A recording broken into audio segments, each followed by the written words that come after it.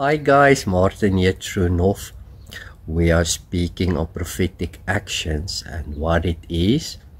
Um, last week we have seen how the prophet Elijah says in 2 Kings 13 to the to the king of Israel, um, he must open his window and take a bow and arrow and shoot it to the eastward where the his enemies um, would come from. And um, then when he did that, he declared, the prophet declared and says, This is the victory of the Lord. And you remember how he had to shoot a few arrows actually. He did it actually only three times. And um, where the prophet was not happy with him. Now, prophetic actions we need to understand prophetic means it's a word spoken. All right and it is something from god when we say prophetic. So it's not a normal word it's a spiritual word and an action is a deed that we connect to this word. So instead of pray or a prayer we can do a prophetic action but i must tell you if you don't have a prayer life and are not um, belonging to God, prophetic actions um, is actually worthless, then it's only an action. So it needs a power, and the spiritual source must be God, um, you know, to give it energy for that to work. Now, we have a lot of prophetic actions in the Word of God that I want to mention to you. First of all, when we spoke on this prophetic arrows, we see that actually the arrow is you yourself. The king shoot the arrow, and the word was upon that arrow. You will bring victory, you know.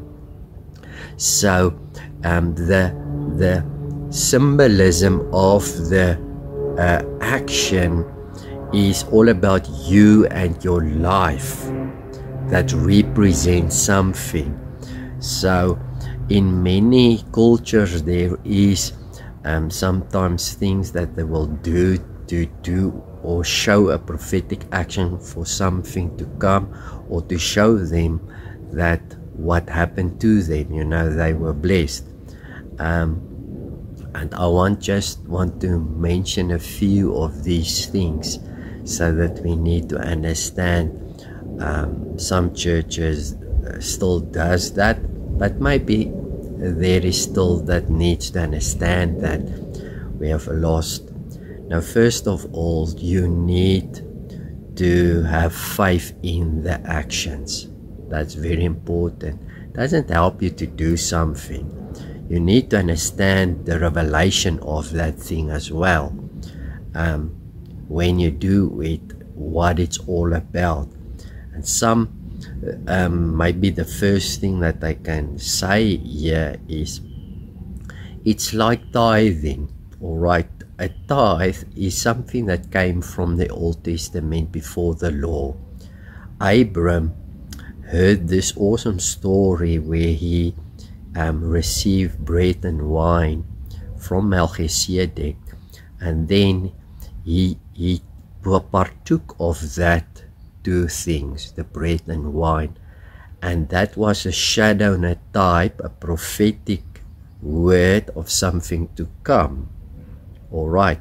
And today, today, when we actually um, take the bread and wine from the Lord, it's past the prophetic action that the Lord did.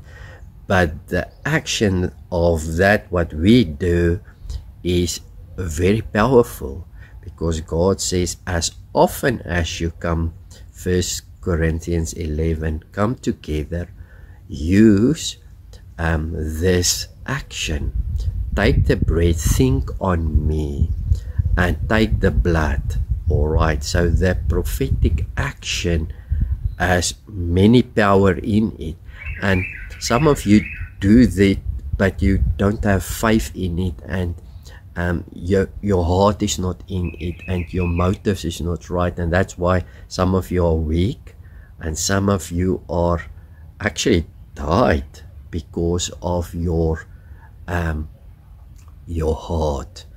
So we can see that uh, bread and wine as a symbolism, the the supper of the Lord is something practically that we do that is a prophetic action about something that went on for us. Tithing is exactly the same. Abram came and he gave a tithe to Melchizedek about because of this awesome story that Jesus Christ will be the Son of God, He will be God incarnated, coming to redeem mankind by blood. Alright, and He's offering as the gift. So the moment when He paid the tithe, it is when the first of the fruit is blessed, everything um, further will be blessed. So it is uh, also, you know, the uh, in the offerings or the feast of the Jewish, the Passover, and then there was the the, the feast of the sieve, the first sieves that was shown before the Lord as a type of Jesus Christ will be the first brethren, all right, of many. And that's why the second feast they had to do this took this um, corn you know and and and wave it in the air. All right as a shadow a prophetic action of something that had to come. Jesus came and fulfilled that feast all the feast but now in our message that feast. All right so we have prophetic things that is most powerful. So first of all we have seen that our lord's supper is a prophetic action and um, if you do not have belief in that it can be terrible for your spiritual life and actually for your physical life so it's a spiritual thing that's connected to a natural thing and a natural thing that's connected to a spiritual thing. I started off by telling you how Adam and Eve sinned and how God made them tunics in Genesis 3 verse 18 I believe um, to cover their sin. Now you cannot really cover your sin with a literal cloak but um, that was a manifestation that they need to cover because your flesh and the natural is connected to the spirit and that was also a symbolism of what the Lord Jesus Christ would come and do kill himself and then he needs to cover you with him. All right so that your nakedness does not shine or shown unto mankind. So we have these things that tithing and your offerings. Um, is always a prophetic action of what the Lord is going to do and what He did for you. And then the Lord's Supper was also one of these things that we need to understand. Now there is many other stuff and maybe I want to read to you just um, a few things so that we need to understand and stay in the Word of God.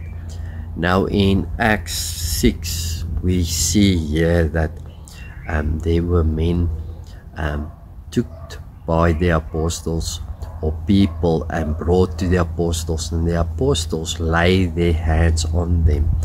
Acts 6, verse 6 says, They presented these men to the apostles who prayed and laid their hands on them.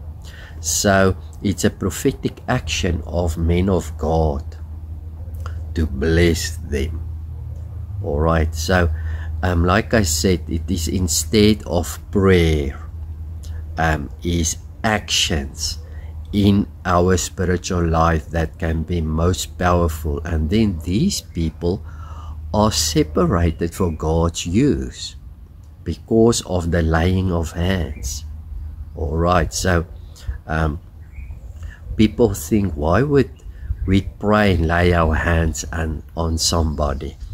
Um, there is also other scriptures that I want to read to you. Um, just let me open here. Maybe you know. Um, James 5 verse 14 and 15 we say, See here, let him call for the elders of the church and let them pray over him. Alright, someone that's sick. Anoint him with oil in the name of the Lord. And the prayer of the faith will save the one who is sick, and the Lord will raise him up. And if he has committed sins, he will be forgiven. Wow. So come to the apostles or the men of God, let them lay their hands on them We say a prophetic action, but anoint them also with oil. Alright, now oil is symbolism of the Holy Spirit. So um, we have this oil bottles, we will come, um, we will pray over them that when this oil touch the people, that this oil will do something spiritually for the people. So um, it, it's powerful. Um, I felt when some great men of God lay their hands on me and anointed in my lifetime with oil, something was transferred upon me. I could feel power flowing through that. And um, so we have the laying of hands, we have the coming of and bringing sick people or people that needs to be separated for the Lord, anoint them with oil. We have the Lord's Supper that is a also symbolism and manifesting um, prophetic manifestation what we are doing all right um, to bring life to people. And it's dangerous things all right? All these things are very dangerous as well to do it not in the right heart of man. So that was james 5 um, then baptism we have in acts 2 verse 41 so those who received the word were baptized Oh, but the word of God is powerful and people came to the Lord. Yes, but they are also baptized in water. And they were added that day about 3,000 souls. So baptism is another prophetic thing that we believe we died with Christ, we will go into the water, and as we come out, we are raised. I had the experience when I was baptized as a young boy. Spiritually, something entered me, um, something happened to me. There was a power release upon me when I was baptized. My life changed. Although I was born again already, where my life was changing, um, something happened with the water baptism as well. So, water baptism has an amazing power behind it and it's the same with the anointing oil so we have seen here that the supper of the lord the laying of hands the anointing oil you know water baptism is is so powerful prophetic actions that the church needs to do it's not only natural things. It is spiritual things, but it's connected to a natural world. The Lord made it that way. So there's things that the prophets knew of the old that when you do this prophetic thing that will release the glory of God. Remember when the king was sick and Elijah told the king to go and wash him seven times. He was a malad, you know, full of sores and what is malads now? Um, in English, he had to go and wash him seven times, and um, there there happened something of that king. he lived for many years, uh, if I can remember, 15 years still, because of his obedience to the prophet's voice when he said to him, Go and wash you in the, in the Jordan. So we have things, you know, even the washing of feet. Let's maybe read that as well a little bit. Um, let me see here. So in John 13, verse 14, now that I, your Lord and teacher, have washed your feet, you also should wash one another's feet. I've set you an example that you should do as I've done for you. Verily I tell you, no servant is greater than the master, nor the messenger greater than the one who sent him. Now that you know these things, you will be blessed if you do them. Now I know that there is many people that will maybe use the Lord's Supper, no power, because their heart's not in it and they do not really believe what they are doing. They will use anointing oil, the laying of hands, the going through baptism. How many people that we not baptized that are back in the world um, that did not really focus on the power of it, um, but they do not know that the Lord's eyes and judgment is on that because they do these things without truly faith. And um, their lives is falling apart because you cannot play with these things. Now i know there's people that is washing of feet you know um, because it's just a traditional thing. You can do all these things at traditionals and there's no power really in it but you get people that truly believe that those time when the people walked their feet were dirty and the lord saw it as a service.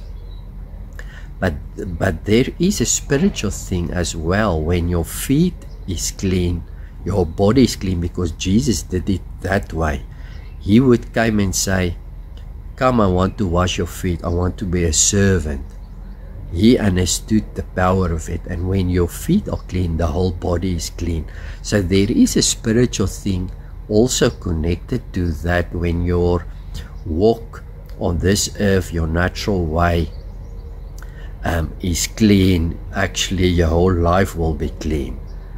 But the prophetic manifestation of washing the feet and you know the power of it. So there come come people to me and I will feel in my heart, you know, I'm going to wash your feet.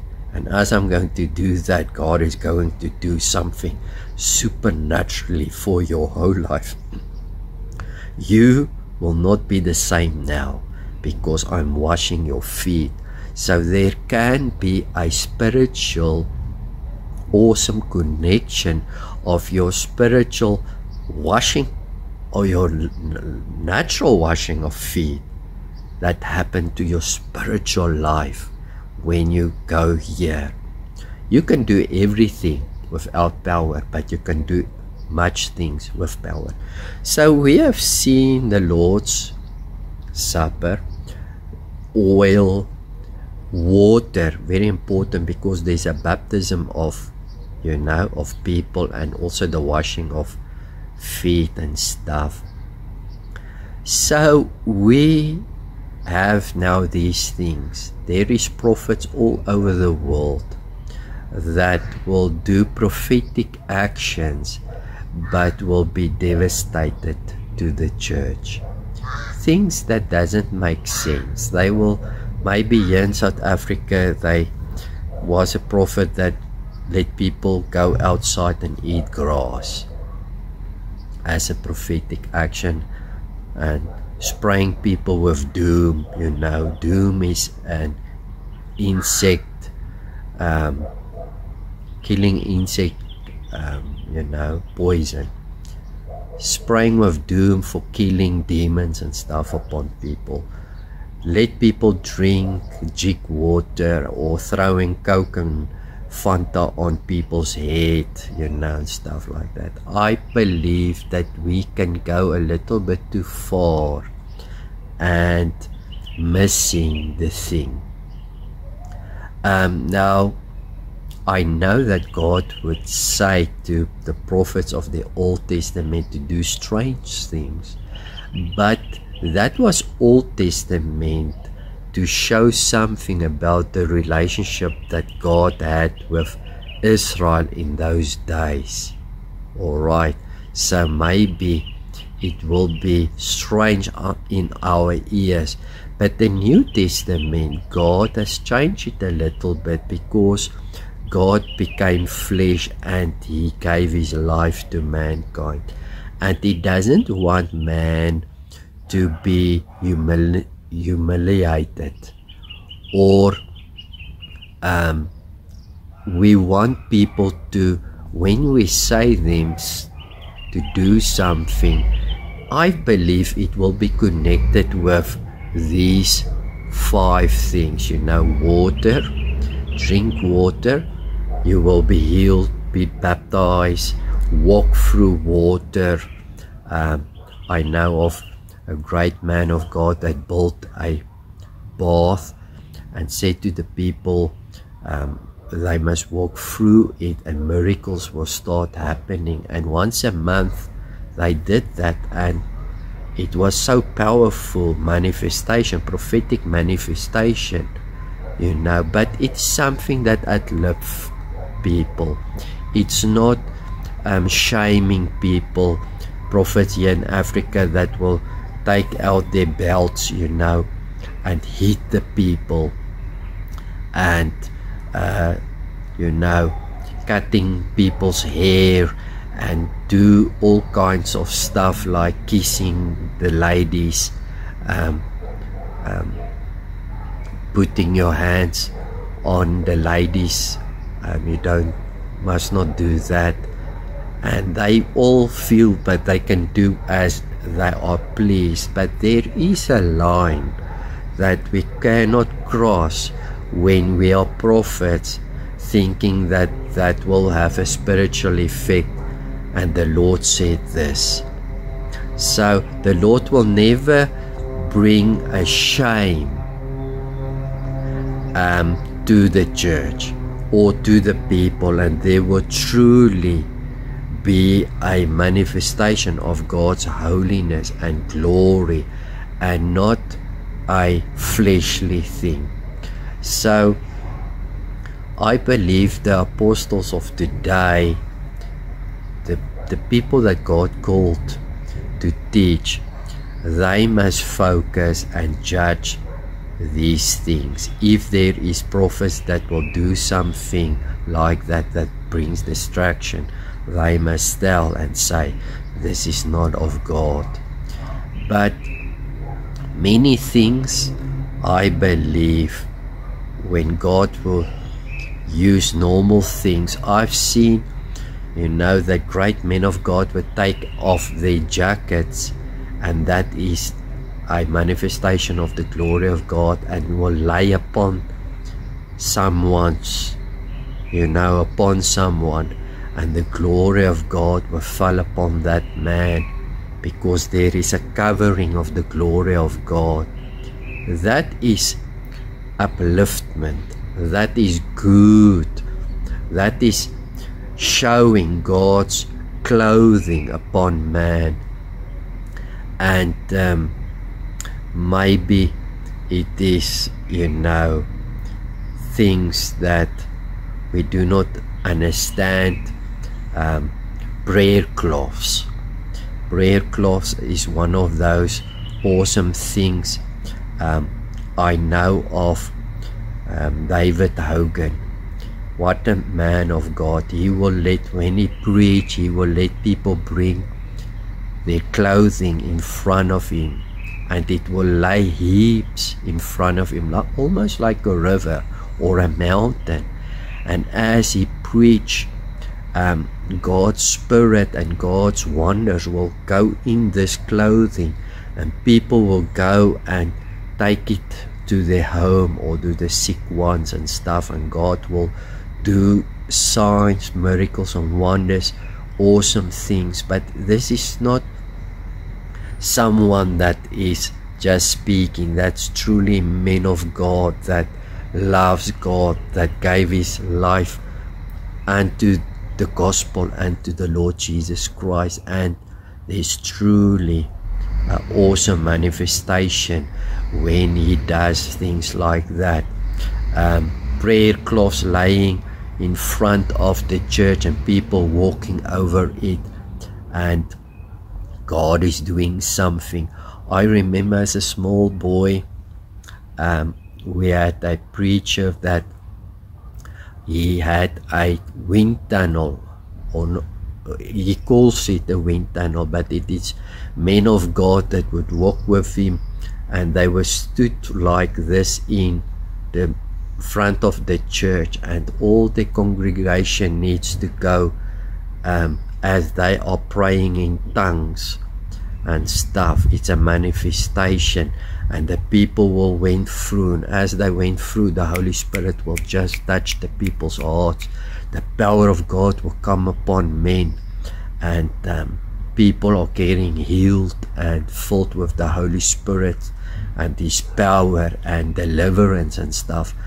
So you get that one of the greatest meetings I've ever felt when I a evangelist had a, a, lot of flowers in front of the church and he said that these flowers as a minister represent our lives. We must come and take that flower after the service and then we must say lord this is my life and i will break it before you. Oh boy. I've never felt something so tangible in my whole life what i've done in a practical world spiritual happen i believe when i took that rose and i break it i could feel how i break something inside of my spirit. In my belly i break something. I could hear it i could feel it and i was instantly filled by the spirit of god. Um crying and laughing and god did awesome miracles that day by doing that. So it's beautiful things. It is um, uplifting.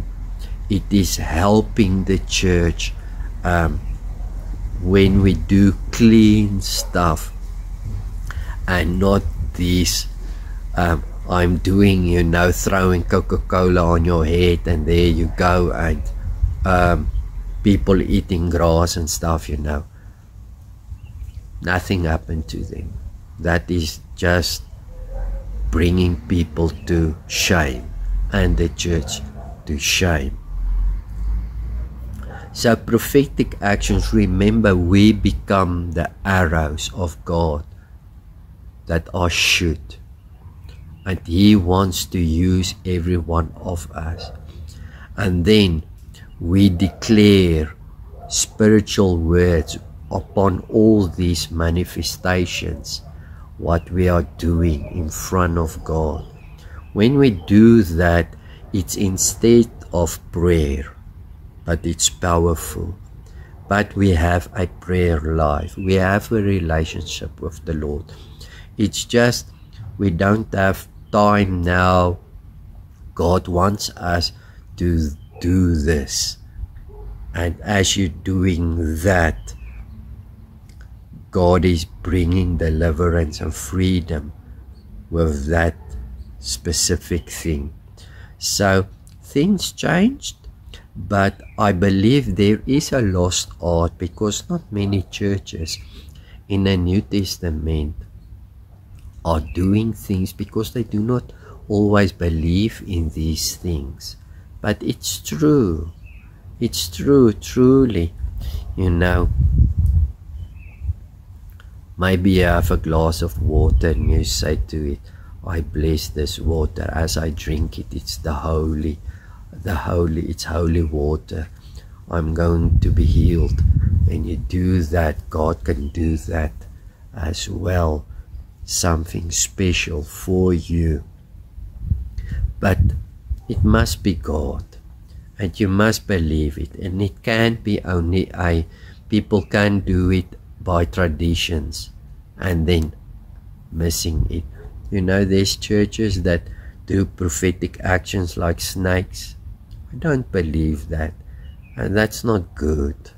Um, because a snake bite Paul once, it's not a prophetic action. It happened because he threw some wood on, you know, and a snake came on the when he threw wood on the fire and bit him. He just shook it off. Um, it was not because of prophetic action, and now people have snakes giving it in the church, and if the snake bite you, you don't have faith. Um, I think that is just stupid. As a man of God, um, that's not the Holy Spirit coming upon people and set people free and deliver people and healing people. There must be a purpose for the prophetic action.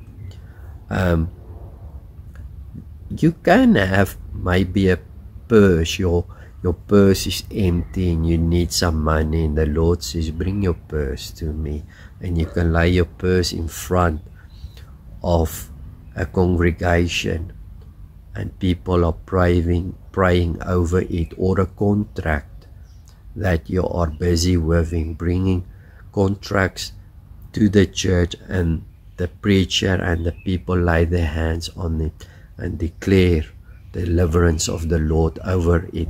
It's almost like shooting, you know, the arrow out of the thing. But I believe the Holy Spirit will lead us and help us and see what we need to do. There can be things that we do in state of prayer. But it must be from God. It must be scriptural. It must truly bring honor to God and man. Glorify man, glorify the gospel, show truly the manifestation of God's glory in that. Doesn't help. The testimony will become back. God did awesome things. And you will know that it's not fake because in the spiritual world there is many fakeness uh, religious world have many fake things. In the spiritism, they use things like you know, um, maybe put a candle, um, light a candle, and do a curse or a chant, and things will happen. But God has given us the power, and He wants us to rule. And um, as we pray with the Lord and stay with the Lord and honors the Lord and the Lord maybe tell you to build a a bath in your church where people can walk through uh, or something um, let's do it but we will see the glory of God in that so prophetic manifestations you are the manifestation of the prophetic. God says there will be a son, and now you are the manifestation. And then you can act things out to confess what God did on the cross, like the supper, like everything, or you can come and bring something, all right, like your tithes and offerings to the Lord, and God will bless you because of that manifestation that you are doing now, the laying of hands of the apostles and the prophets and really men of God will do something for you by acting prophetic. It is something to testify about and to do it practically and to give something past present and future bring things in together. So, may this word bless you today and um, be blessed in Jesus' name. Amen.